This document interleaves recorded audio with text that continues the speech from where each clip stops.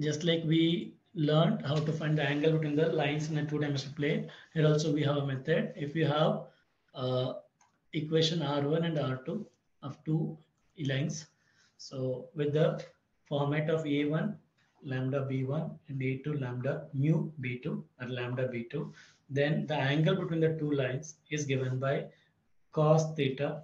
That is just by multiplying the vector, we get this cos theta is equal to dot product of the two vectors divided by the modulus of the vectors product.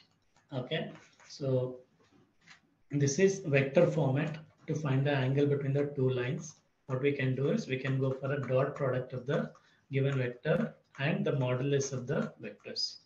Okay, so this is one way to find the angle between the two lines. So there's another way that is uh, using this, we can also understand the conditions for perpendicularity and uh, uh, parallelism. What is the parallelism and perpendicularity? If the two lines are parallel, they are called parallel lines and there's a condition for that. That condition is called parallelism condition. For that, what we should have is B1 should be some constant into B2. Okay, that is the vector B1 if you take a common uh, scalar from that, it should look like the same equation. That is for parallel lines. For perpendicular lines, if you take a dot product of the b1 and b2, it should be a scalar equal to 0. So if you take a product of the two vectors, dot product of the two vectors, if that is becoming 0, that means the lines are perpendicular, simple. Okay. And in case of a, uh, what is it? for parallel lines, the one of the vector should be written as a scalar multiplication with the other vector. Then it becomes the, these two lines are parallel to each other. Okay, so let's see if there is an example to understand this better. Okay. To first understand the Cartesian format as well, to understand the angle between the two lines, just like we saw uh, vector form, we can also check Cartesian format to get the angle between the two lines. So in the Cartesian form, we know uh, if there is an equation of a line, one of the equation can be written as x minus x1 by a1, x y equal to y minus y1 by b1, z minus z1 by c1, right? Similarly, another vector can be represented like this. So direction ratios of the lines are proportional, then they becomes parallel. That is, if m1 of this line is parallel to this. So now what it says is cos theta vector m1 is here parallel to a1i plus b1j and c1k. Vector m2 is this. So if they are parallel, so what we what happens is cos theta is written as their dot product. When we are having a cos theta, we are having a dot product. Okay, so modulus of m1 and m2. If they're parallel, what happens? This should be equal to watch so this entire thing should be given and we can find the value of theta by taking cos inverse of this entire expression. And how to find the dot product? Dot product is very simple. So we know the modulus, I mean the, what is it? Magnitude of the vector, the denominator is simply a1 square plus b1 square plus c1 square into a2 square plus b2 square plus c2 square, whereas the dot product will lead us a1, a2 direct product, b1, b2, yesterday's vector concept. Can you recall? So when you do the dot product of the vectors, this vector and this vector, will only multiply the same perpendicular vectors because cos uh, a1 will be multiplied with a2 and b1 will be multiplied with b2 and c1 will be multiplied with c2 because cos 0 is 1 so we'll only have this much right? That is the value. We can even use sine whereas we have to use cos uh, cross product for that. But this is a better way to find the angle between the lines. Okay? So you can convert this into sine theta as well later if it is needed for time being let's use this method only to find the angle between the lines Okay, now coming to condition for perpendicularity and parallelism in case of uh, uh, Cartesian form is if the lines are parallel, the numerator will be zero, right? As the numerator is zero, we can say A1, B1, A1, A2 plus B1, B2 plus C1, C2 equal to zero. If they're perpendicular, denominator will be zero or this ratio A1 by A2 will be equal to B1 by B2 will be equal to C1 by C2. Okay, so just remember in the Cartesian format, if you want to know the lines are perpendicular, this condition has to be applied. And that's the numerator has to become zero because we know cos 90 is equal to zero. Okay, the numerator of the expression is zero means the entire value will become zero, then theta will become 90 degree. So if it is uh, per parallelism, then we have to know that the ratio of the a1 by a2 should be equal to a2 by the sorry b1 by b2 which is also equal to c1 by c2 so let's go to the examples quickly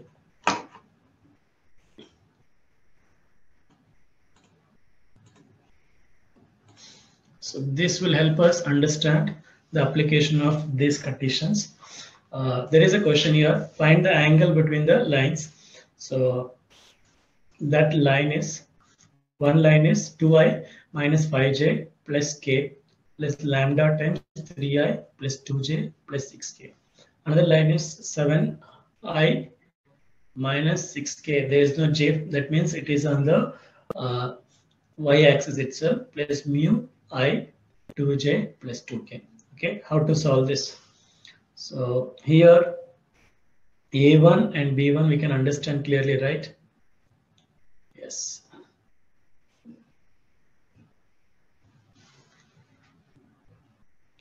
What is B1 here? B1 of the first equation is 3i, correct? Plus 2j plus 6k. What is the second equation line? i plus 2j plus 2k. Right? So how do you solve this is uh, I can say A1, A2, B1, B2, C1, C2. Okay, so what is A1? A1 is 3, this is 1, B1 is 2, this is, what is value of this?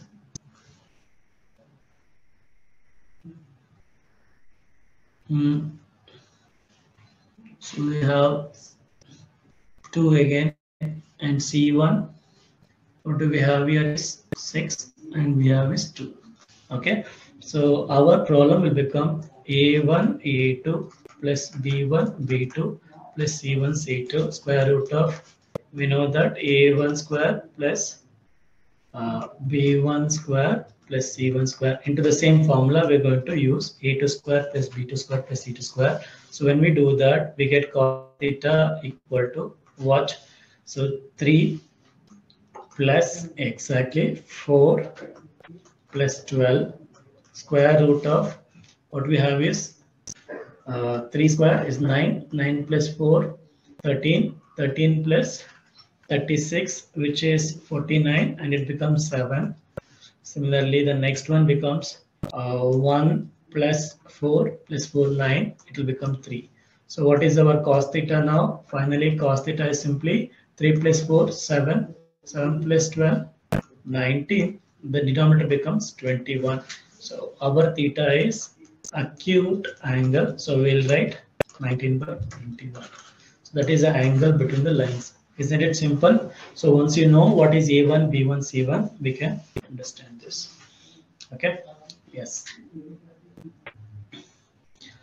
So we just have to focus on the constant part multiplied with the remaining vectors. Let's go to the next question, next concept. So with that, we can wind up this.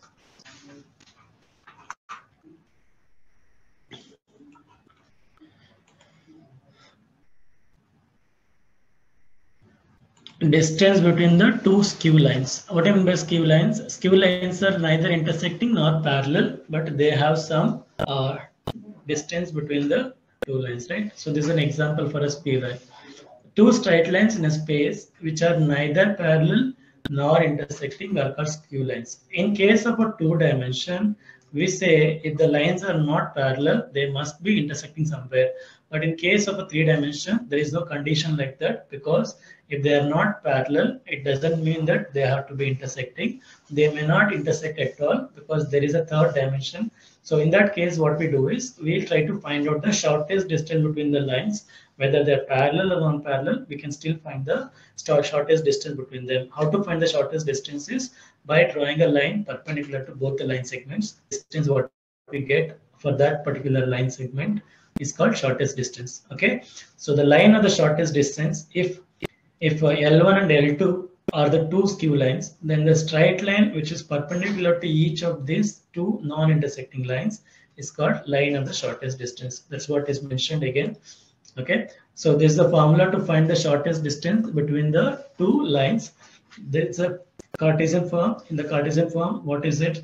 If you have two lines, x minus x1 by a1 and y minus y1 by b1 and z minus z1 by c1, which is equation of one line.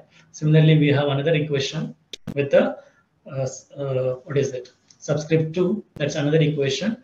Then how to find the shortest distances is the formula. So there's a determinant of x2 minus x1 remember this formula which is very helpful for us z2 minus z1 and a1 a2 this is a2 b1 b2 c1 c2 okay so how this formula came all the explanation is there in our uh, expression so how this has been converted into what determinant you have to check the uh, actual solution, actual uh, conversion or uh, derivation if you need. If you know, if you don't need it, you can just directly use this formula. Okay, so this enter uh, this particular determinant will decide the distance numerator of the distance part. Okay, and this will become zero if they are what if they are intersecting. If they're intersecting, what happens? The shortest distance become zero. That's why the denominator numerator part will become zero. Okay. Yes. So how that particular information came is here. Particular formula came. If you can understand that way, fine. Others you can use this. The shortest distance PQ is B1 cross B2 into A2 minus A1 divided by modulus or magnitude of B1 cross B2 So this entire information is given like that okay yes this is the formula to find the shortest distance between them so let's check the example a solved example to understand the same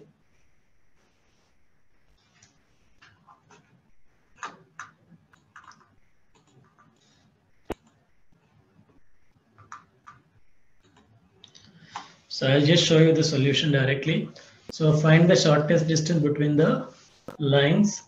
So here we'll just uh, first figure out what is A1, what is A2, B1, B2, C1, C2 quickly first. So what is A1? 1, uh, B1 minus 1, C1 plus 1. And here A1 is 2, B1 is 1, B2 is 1, and C2 is 2. Okay. So what is x1, x2, y1, y2, z1, z2. So x1 is 1, x2 is 2, y1 is 2, y2 is minus 1, uh, y, z1 is 1, this is minus 1. Can you observe that? Yes, all that observation we are going to substitute in our question. So what is happening to our solution is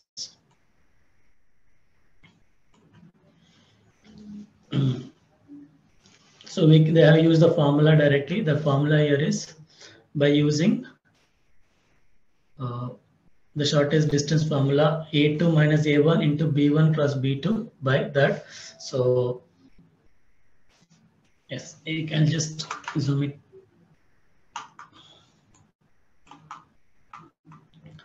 So they have found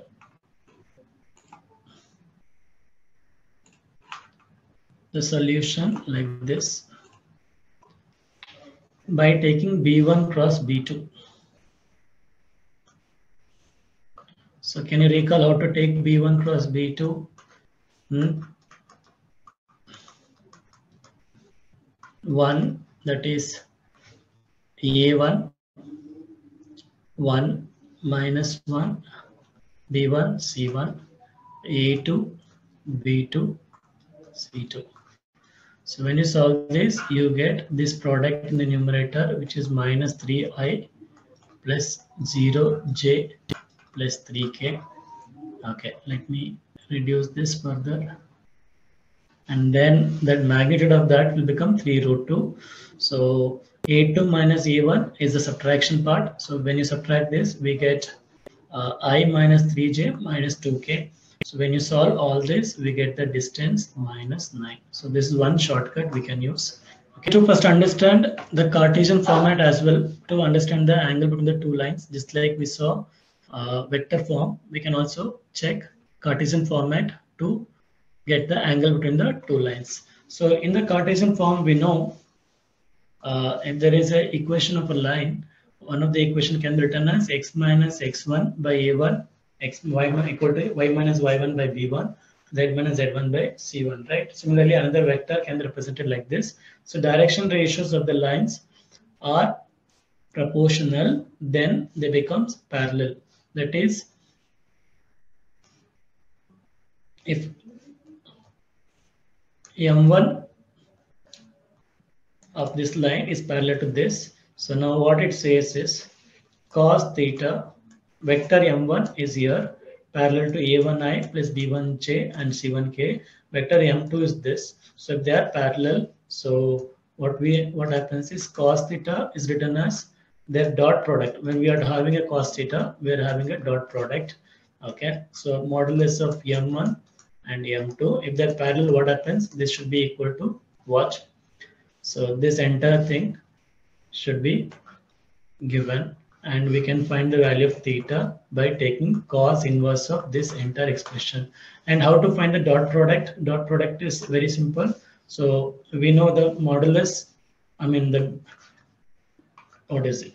Magnitude of the vector, the denominator is simply a1 square plus b1 square plus c1 square into a2 square plus b2 square plus c2 square. Whereas the dot product will lead us a1, a2 direct product b1 b2 extra is vector concept. Can you recall? So when you do the dot product of the vectors this vector and this vector will only multiply the same perpendicular vectors because cos uh, a1 will be multiplied with a2 and b1 will be multiplied with b2 and c1 will be multiplied with c2 because cos 0 is 1 so we will only have this much right? That is the value. We can even use sine whereas we have to use cos uh, cross product for that.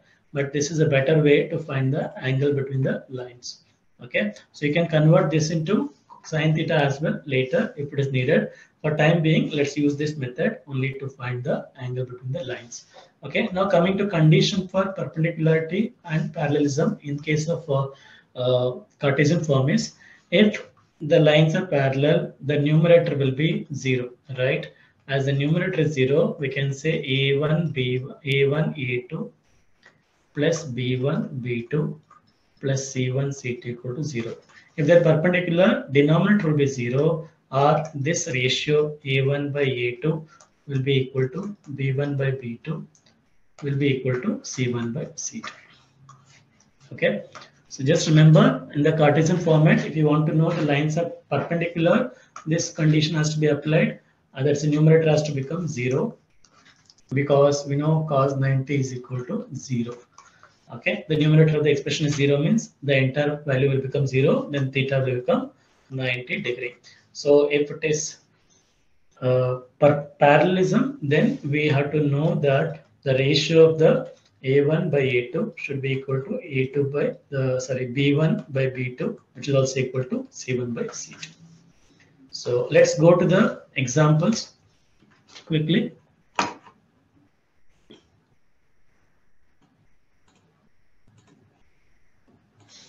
so this will help us understand the application of these conditions uh, there is a question here. Find the angle between the lines. So that line is one line is 2i minus 5j plus k plus lambda times 3i plus 2j plus 6k. Another line is 7i minus 6k. There is no j. That means it is on the uh, y-axis itself plus mu i 2j plus 2k. Okay, how to solve this? So here a1 and b1 we can understand clearly, right? Yes.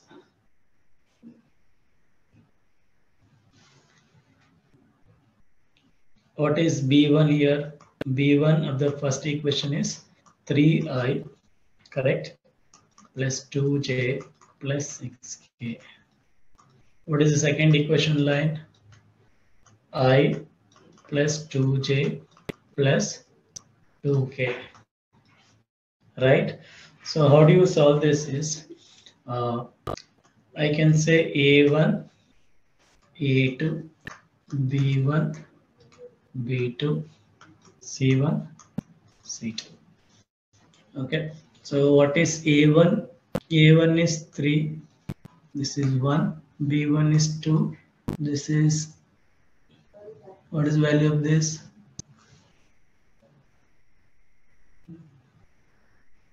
hmm.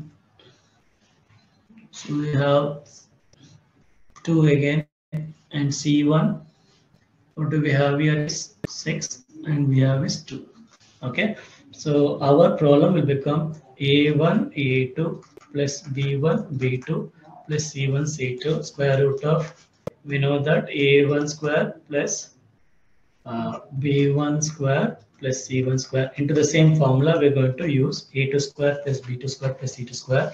So when we do that we get cos theta equal to what?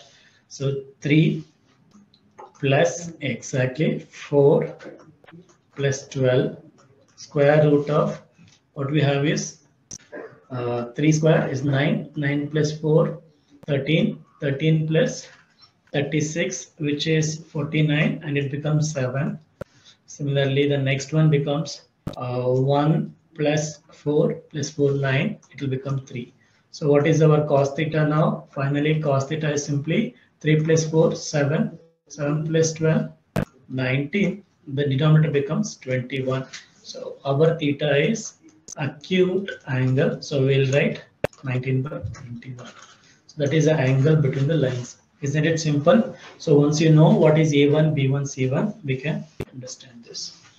Okay. Yes. So we just have to focus on the constant part multiplied with the remaining vectors. Let's go to the next question, next concept. So with that, we can wind up this.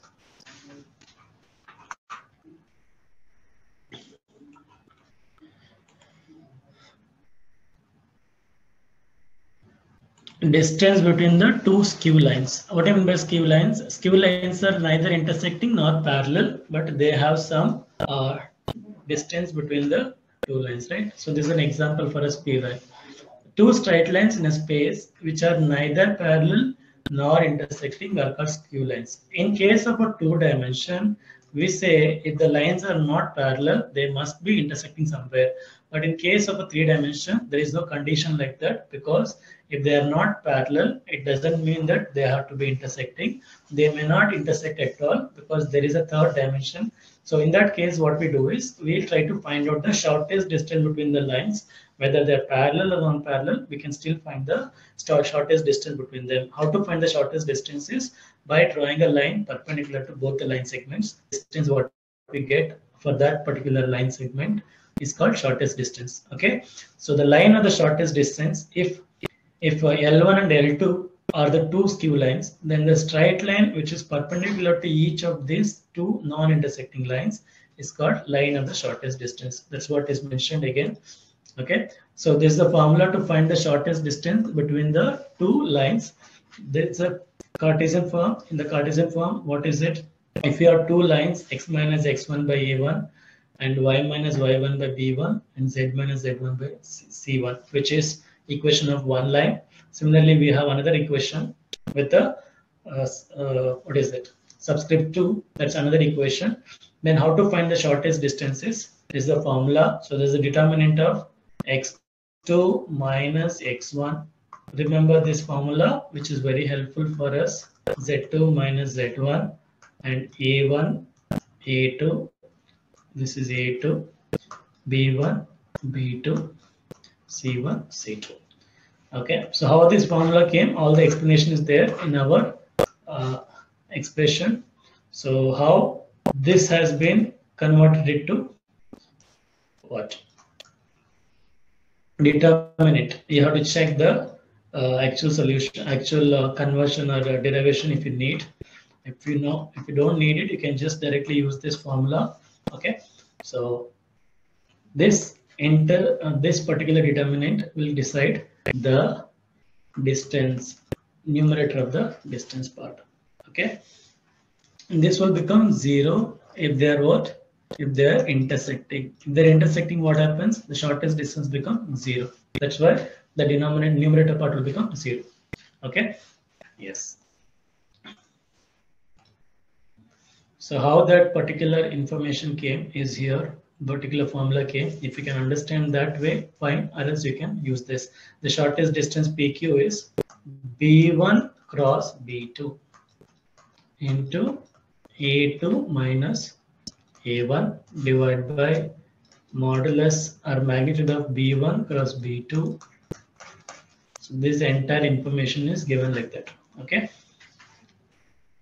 Yes, this is the formula to find the shortest distance between them.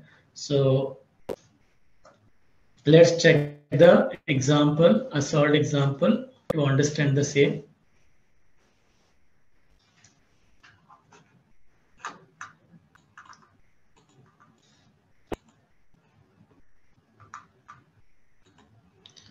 So I'll just show you the solution directly. So find the shortest distance between the lines. So here we'll just uh, first figure out what is A1, what is A2, B1, B2, C1, C2 quickly first. So what is A1? 1. Uh, B1 minus 1. C1 plus 1. And here A1 is 2, B1 is 1, B2 is 1, and C2 is 2. Okay. So what is the X1, X2, Y1, Y2, Z1, Z2.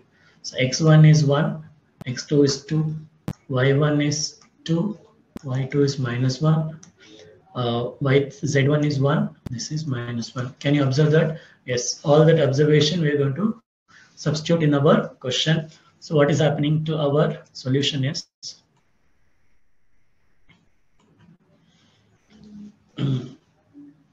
so we they have used the formula directly. The formula here is by using uh, the shortest distance formula a2 minus a1 into b1 plus b2 by that. So yes you can just zoom it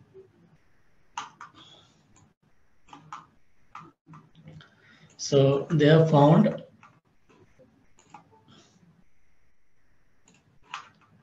the solution like this by taking b1 cross b2 So can you recall how to take B1 cross B2? Hmm? One, that is A1, 1 minus 1, B1, C1, A2, B2, C2. So when you solve this, you get this product in the numerator, which is minus 3i plus 0j plus 3k. Okay, let me reduce this further. And then that magnitude of that will become 3 root 2. So a2 minus a1 is the subtraction part. So when you subtract this, we get uh, i minus 3j minus 2k. So when you solve all this, we get the distance minus 9. So this is one shortcut we can use.